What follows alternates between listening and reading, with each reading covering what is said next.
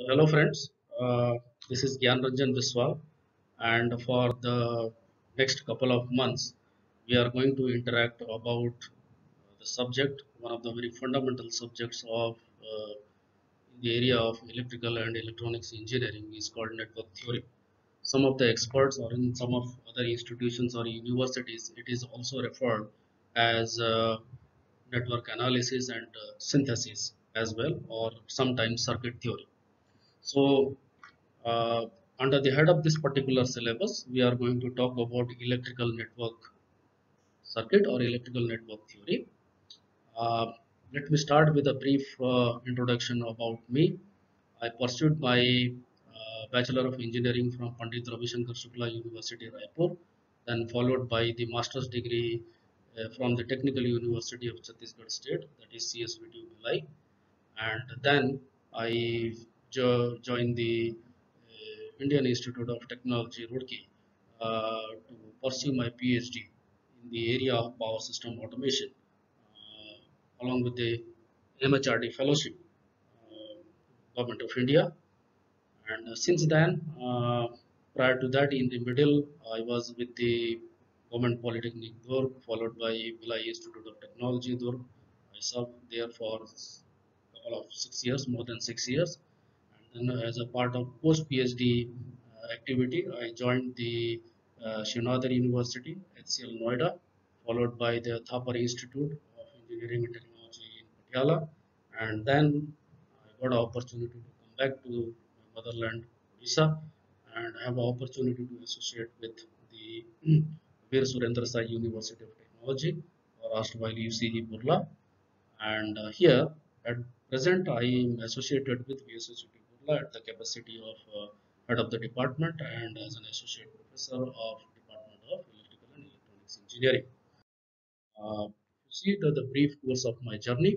As far as the, my research interest is concerned, I primarily focused, uh, the entire team is primarily focused on in the area of smart sensing and uh, Internet of Things. Uh, in other words, IoT enabled smart sensors uh, currently one project, one of the dedicated project of the Central Power Research Institute, which comes under the Ministry of Power, is also going on, uh, which has one unique objective to design a gas density sensor uh, under the head of uh, India policy. And other than that, uh, some of my scholars are involved in the area of uh, fuel cell lead sustainable energy systems and power system automation robust control and uh, in such areas. So you can find me at uh, any moment of time through the LinkedIn also. I put it that particular profile on the front cover page. As far as the syllabus of the present course is concerned, uh, we are going to uh, divide the entire syllabus of the network theory under the head of five modules. And uh, under the restriction of online mode, we are going to restrict our discussions within five lecture hours uh, as far as the each module is concerned. So the modules are as follows in front of your screen. That is the module 1 where we are going to deal with the analysis of uh, coupling uh, circuits and the transient responses followed by we will jump to module 2 where we will talk about the two-port network analysis and then module 3 we will jump to the network function and responses. Here in that case we may possibly change the order of our discussion. Uh, time to time as and when required. And uh, in the module 4 we will jump to the network synthesis. And then finally we will end up our discussion. We will revert back to the analysis side along with the help of graph theory. And finally a brief introduction to the passive filter design so what books i can advise you there are numerable books because it is one of the fundamental topic of uh, uh, the any any engineering discipline related to the concern of electrical sciences. Uh, for an example, electrical engineering, triple ETC. So uh, there are numerable books available, but I would advise you from my side to refer two books. One is the Introductory Circuit Analysis by Robert L. And uh, the latest possible 12th edition is available. And uh, the number two is Network Analysis by Amy Van Valkenburg uh, Pearson. Now the recent editions are available uh, in the name of Pearson uh, in India. Okay. Number of uh, references books are also mentioned. If you feel comfortable, uh, there is no restriction absolutely from my end. You can refer any particular book what you want, but uh, I would insist you to focus on the lecture series because that will not only help you to save your time but also to optimize your efficiency as far as the subject is concerned. Okay, you can gain more by investing lesser amount of time. That's what I would say. That's what the, exactly the role of an academician is. Then followed by some other important reference uh, slides are also here. You can refer. You can refer uh, NPTEL site, which is uh, led by one of the uh, finest institutions in India, IIT is Bangalore, and you can get the wonderful lecture series and uh, absolutely you must know that it is initiative uh, began 10 years back uh, under the head of MHRD and this entire program series is available for you free of cost. So you can refer at any moment of time. For any further help, you can also refer the MIT open course uh, in the middle. Uh, time to time, if I am going to refer the supporting material of any other institutions or open access module, uh, open course module, uh, or any other book I will be keep on mentioning? But I think those couple of books will be uh, more than sufficient for me. So as far as the course outcome is concerned we are divided the entire course modules in the five outcomes. So I hope that by the end of our discussion uh, you should be ready uh, you should be able to uh, follow these five course outcomes. CO 1 2 3 4 5 okay? So that is based on relevant to your the course module or the syllabus of the structure. As far as our online discussion is concerned as i said that we are going to restrict our discussion preferably on an average five lectures under the head of each module. And at the same time we will also conduct one quiz test to judge so that you can judge yourself uh, and uh, you can also find the area of improvement. That's the ultimate purpose is. So let's begin. Uh, your first topic of the syllabus, if you see, it starts with the self and the mutual inductance, or in other words, the mutually coupled circuit or mutually coupled network.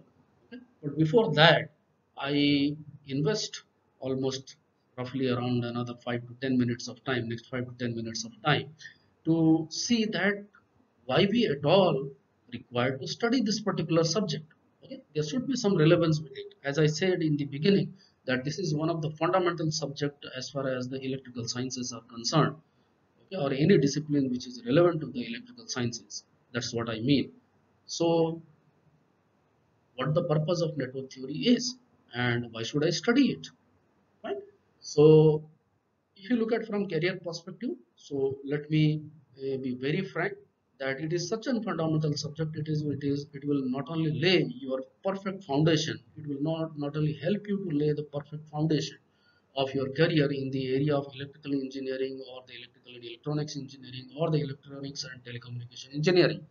But uh, it will also helpful in clarifying uh, the number of competitive exams uh, once you will reach the higher level of semesters or at the verge of your completion of the degree program and you are going to attempt the different public sector exams indian engineering services uh, graduate aptitude technical test gate and engine uh, entrance and uh, many more things. So this will not only help you to nourish your career in the area of electrical sciences but also it will help you to uh, qualify your next level exam in the peer ahead of your career. If you obviously look at your career in the continuous uh, continuously look at your career in the area of technical uh, stream only. So uh, you can say to understand the network theory let us we keep it simple and we divide the concept of network theory in four different domains so we'll, it will be easier for us to understand. So network theory you will become sometimes come with the terminology called uh, network analysis. Sometimes you will uh, come through a word uh, graph theory. Sometimes uh, you will go through a terminology we call network synthesis and sometimes uh, people maybe talk about design. So let us see one by one. What do you mean by network analysis? It is primarily a mathematical model which help you to analyze your electrical or electronic circuits. So when I say electrical or electronic circuits, so obviously it is the level of power which is driving through. When you talk about electrical circuits, normally we uh, judge uh, the in, in, terms of in the unit of maybe kilowatt and even if you are reaching to the higher level like in the transmission system so you may be dealing the megawatt. If you talk about the generation capacities of uh, the entire country maybe we are judging at the level of gigawatt and so on and so while in the area of electronics you are miniaturizing the things and therefore you are driving in the level of milliwatt. And so on and so that is the generally standard terms. Fine. Okay. So what is network analysis? When an electrical or electronic circuit is analyzed for the given input for the given electrical input point to be noted to find a desirable output or response from the circuit. So this whole purpose is going to meet through a terminology we call network analysis. Okay, I repeat my words. You have a given electrical circuit is available. That means within the circuit, let, let us we assume that that is a white box. The kind of electrical input response is available to you to find a desirable response or desirable output. Okay? So when you are analyzing such a concept is called network analysis. Okay? So what do you mean by graph theory then? So graph theory is also does the same purpose but in that case rather than referring a mathematical model mathematics based equations we refer to the graphical analysis. The reason is that generally graph theory is applicable to analyze any electrical or electronic network when the number of matrix is a very very complex or you can say that you have you are going to drive drive with the multiple number of inputs uh, through the same circuit to generate the pos different possible desirable outputs at the different node. So in a simpler word, you have a multi-input and multi-output system. You have a white box, which is an electrical circuit. Now you are analyzing the, that electrical circuit with uh, with the help of the given or known electrical input signals to find or to achieve the desired output or response from that electrical circuit. So if there is a multiple input and multiple output and we are keep on writing the mathematical equations then question comes that can't we reach to the conclusion yes of course you can reach but it may consume a lot of time. So that will experience a lot of delay.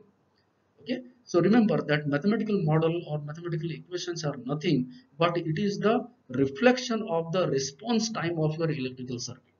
If you have a more number of mathematical equations and your computation system you're taking consuming much more time to solve these mathematical equations to reach to over the conclusion that means that you are going to consume more time while through that particular electrical circuit in a real life scenario to generate a. So in other words we are going to experience more considerable amount of time delay. So to avoid that we adopt the method that is called graph theory.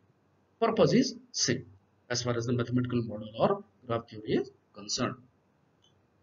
So i hope that is now clear to you. What is the mean by network analysis? So if it is a network analysis then question comes what is network synthesis as the terminology is involved synthesis that means you are supposed to design that electrical or electronic network. So here for the given electrical input and the desired electrical output, you are going to design an electrical network. So what makes the difference? In the case of network analysis, the white box, that means the electrical network is known to you.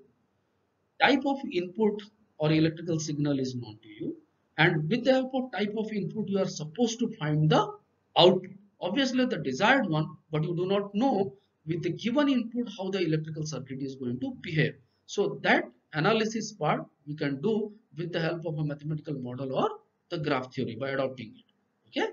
So obviously it is very obvious that if I'm what if I'm going to change the type of input obviously through the same electrical network the response will be changed definitely right? It is no more going to generate the same kind of response okay? So in the head of network analysis two things are known input and the electrical network and my job is to find the electrical output obviously the desired or expected one.